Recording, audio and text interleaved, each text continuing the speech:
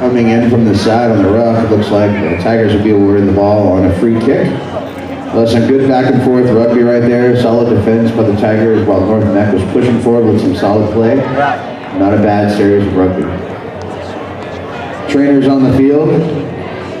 Looks like we have a stoppage for injury. Hopefully nothing serious.